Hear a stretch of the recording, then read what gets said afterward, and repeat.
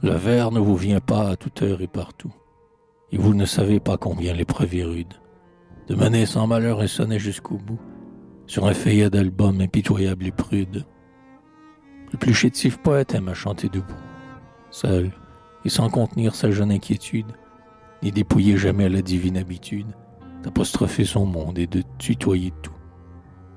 Laissez donc librement voler sa fantaisie, car s'il veut ici-bas goûter la poésie, il doit, l'infortuné, la dérober aux cieux.